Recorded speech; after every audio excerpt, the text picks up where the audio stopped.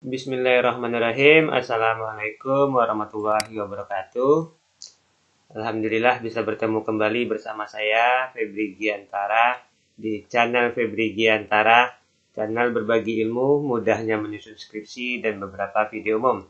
Pada video kali ini saya akan coba menjelaskan kepada teman-teman bagaimana sih menganalisis uh, penelitian kalau judul penelitian kita adalah analisis faktor di mana analisis faktor ini bagian dari uh, penelitian kuantitatif dengan pendekatan analisis faktor.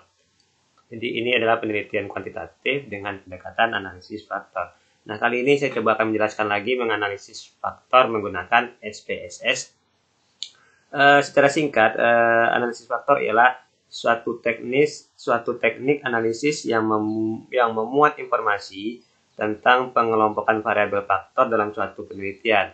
Nah, intinya gini, kita akan melihat dari beberapa variabel itu manakah yang akan menjadi faktor-faktor di dalam proses penelitian kita atau faktor manakah yang yang mem, yang paling mempengaruhi dari misalnya tiga variabel yang kita teliti.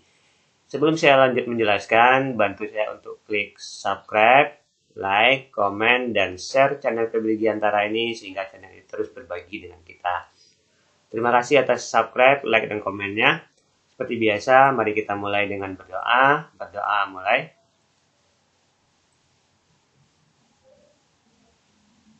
Berdoa selesai. Teman-teman, di sini saya akan coba menjelaskan bagaimana cara mencari analisis faktor. Ini adalah hasil penelitian saya, analisis faktor yang, mem yang mempengaruhi kerukunan umat beragama pada saat pandemi virus corona. Nah ini, nah faktor yang saya teliti, faktor-faktor yang uh, saya teliti itu adalah yang pertama uh, faktornya adalah sikap dan perilaku, yang kedua kebijakan pemerintah, yang ketiga lingkungan, yang keempat pendidikan. Nah inilah yang akan coba saya uh, teliti faktor manakah yang paling mempengaruhi dalam hasil penelitian saya. Nah, langkah pertama kita lakukan adalah kita jumlahkan terlebih dahulu faktor ini. Uh, kita masukkan, maaf, langkah pertama kita masukkan uh, hasil penelitian kita. Ini hasil penelitian saya berupa angket. Ya, berupa angket, sangat setuju, agak setuju. Langkah pertama kita jumlahkan dulu angket ini. Caranya adalah, ini kebetulan sudah saya jumlahkan Caranya adalah uh, klik transform compute variable. Tinggal kita buatkan di sini misalnya sikap. Lalu tinggal masukkan di sini sikap, pindahkan ke kanan, tambah, pindahkan ke bawah, pindahkan ke kanan, tambah, pindahkan ke bawah, pindahkan ke kanan, tambah, begitu seterusnya sampai dengan uh, sikap yang terakhir atau variabel uh, indikator yang terakhir ya sampai dengan pertanyaan yang terakhir. Nah, ketika selesaikan pertanyaan terakhir langsung oke, okay, maka akan otomatis menjumlahkan sendiri uh, dari setiap pertanyaan angket kita. Nah, ini yang pertama. Kita jumlahkan sikap, kebijakan, lingkungan, pendidikan. Yang kedua, setelah itu kita klik lagi compute, kita buat di sini misalnya variabel kedua adalah tadi pendidikan misalnya. Pendidikan, kita cari pendidikan, Nah, ini kita jumlahkan. Pindahkan ke kanan. Jumlahkan, pindahkan ke kanan, jumlahkan, pindahkan ke kanan. Nah, seperti itu. Eh, teman-teman, setelah itu oke. Okay. Nah, setelah kita jumlahkan, baru kita uh, akan mencoba menganalisis faktor manakah yang paling mempengaruhi dari empat variabel ini sikap, kebijakan pemerintah, lingkungan, dan pendidikan dalam kerukunan umat beragama. Ini contoh yang ingin saya yang ingin saya uh, teliti. Uh, sekali lagi, uh, jika teman-teman suka dengan video-video saya, bantu saya untuk, untuk klik uh, subscribe channel PB Di antara ini. Terima kasih. Kita nah sekarang kita lanjut kepada langkah selanjutnya menganalisis yaitu dengan cara klik analyze ya. Klik analyze. Setelah kita tadi menjumlahkan kita klik analyze lalu dimension faktor. Nah apa yang lakukan kita langkah selanjutnya kita sudah lakukan adalah kita tinggal pindahkan seluruh variabel kita yang telah kita jumlahkan tadi. Kita tinggal pindahkan sikap kebijakan lingkungan pendidikan ke kanan. Setelah kita pindahkan, langkah berikutnya adalah kita klik uh, deskriptif, lalu kita pastikan ini terchecklist, KMO-nya terchecklist, dan anti image-nya terchecklist. Setelah itu continue, sekali lagi inisial, KMO dan anti image, continue. Setelah continue, kita klik lagi uh, extraction. Extraction, pastikan ini terchecklist yang di atas sudah, yang di bawah terchecklist sudah. Kalau sudah semua, maka klik continue.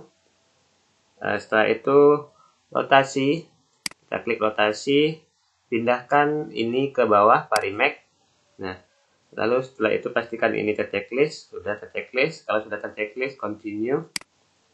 Uh, setelah itu score. Pastikan ini terchecklist, save as, dan ini regression. Setelah itu baru continue. Setelah continue, nah kita oke okay kan. Ya, kita oke okay kan. Setelah selesai semuanya, score tadi, save as di terchecklist, continue yang ini parimax-nya checklist yang di bawah checklist continue extraction itu checklist dua-duanya continue deskriptif itu checklist inisial KMO dan anti continue. Setelah itu kita oke okay kan nah setelah kita oke okay kan akan muncul uh, ya ini tabel-tabel seperti ini. Nah kita mana yang kita ambil teman-teman? Sesuai dengan kebutuhan kita saja mana yang mau kita selesaikan. Nah hasilnya seperti ini teman-teman. Uh, kita langsung coba saja lihat penelitian saya. Hasilnya adalah saya ambil tabel deskriptif pemeluk agama di mana saya meneliti ada tiga agama di sana lalu hasilnya ini jika nilai KMO MSA sebesar 0,652 lebih besar dari 0,050 dan nilai Bartlett test of sphericity 0,00 kecil dari 0,05 maka analisis faktor untuk data kerukunan agama dapat dilanjutkan. Nah, kalau nilai ini lebih besar dan nilai ini lebih kecil, maka bisa kita lanjutkan analisis faktornya.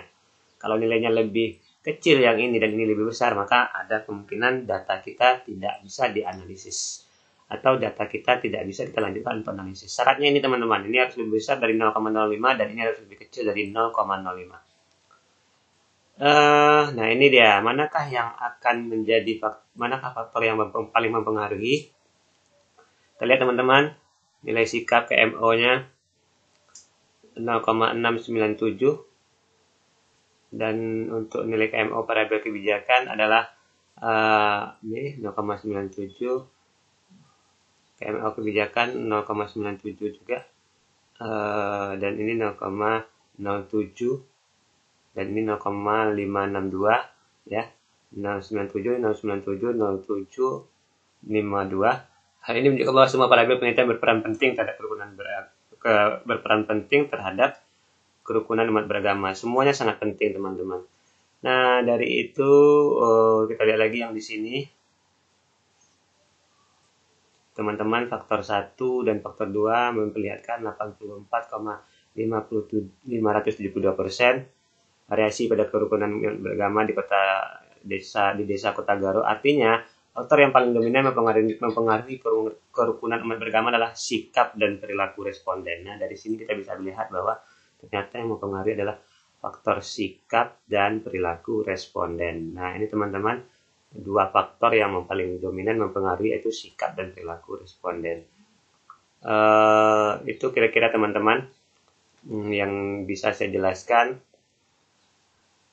Ini nilai hubungannya. Jadi teman-teman jika teman-teman uh, kebingungan menganalisis uh, analisis faktor atau penjelasannya terlalu cepat saya jelaskan teman-teman bisa melihat di jurnal saya atau cari di Skular Febri Giantara nanti lihat di ID Skular saya dan bisa lihat jurnal saya yang ini silakan disitasi jika teman-teman menyukai penjelasan ini dan silakan disitasi tulisan saya tentang analisis faktor yang mempengaruhi kerukunan umat beragama pada saat pandemi virus corona. Sekali lagi, ini bertujuan untuk melihat manakah faktor yang paling dominan dan setelah hasil penelitian tadi, saya peroleh bahwa di sini yang paling dominan adalah faktor 1 dan faktor 2 di mana kerukunan umat beragama itu yang paling dominan dipengaruhi oleh sikap dan perilaku responden. Terima kasih teman-teman atas uh, uh, telah menonton video saya. Silakan uh, dipelajari lebih lanjut pada referensi-referensi yang ada baik itu di buku-buku maupun di hasil-hasil penelitian atau jurnal-jurnal yang terbit di jurnal nasional maupun jurnal internasional sebagai bahan referensi tambahan teman-teman. Terima kasih. Saya akhiri dengan mengucapkan hamdalah alhamdulillahirabbil alamin. Assalamualaikum warahmatullahi wabarakatuh.